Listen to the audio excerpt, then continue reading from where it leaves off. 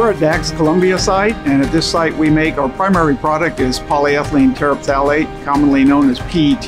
It's used in containers for water bottles, soft drink bottles. The local government is very supportive, and we work very closely with them, find a lot of ways that we can cooperate together. You've got people in, in government and council and others that you know really want you here. Devro makes edible collagen films for the food industry. You can find us all over the nation. We're at the hub of three major interstates, so it's really easy to get to all corners of South Carolina from this location. We have the Port of Charleston, which is just an hour and a half down the road. We have Columbia Metropolitan Airport, which is 30 minutes away. We're located on the Congaree River. We have a lot of needs for water for a variety of uses. We have rail access from a major rail company, CSX.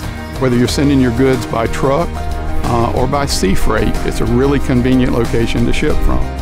We've got a number of colleges and technical schools around us. One in particular is Orangeburg Calhoun Technical College. They'll actually tailor their educational programs to make sure that the, the candidates that graduate from the school are ready to go into our workforce.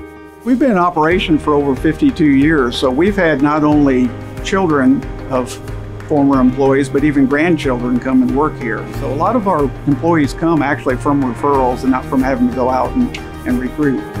What we found is the labor force has a really good work ethic, and we've developed a sense of family amongst our workforce here at the factory.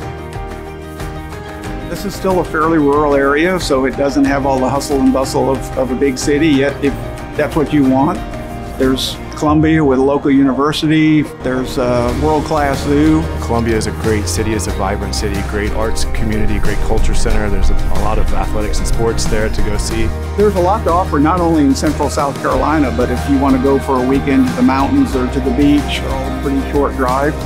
This area is rich with small towns. You've got St. Matthews, you've got our, our local town of Sandy Run right here. There's rich history in the area. There's nice little cities to stop in and have a lunch or have a nice dinner. It really gives you a nice sense of community when you're in the area.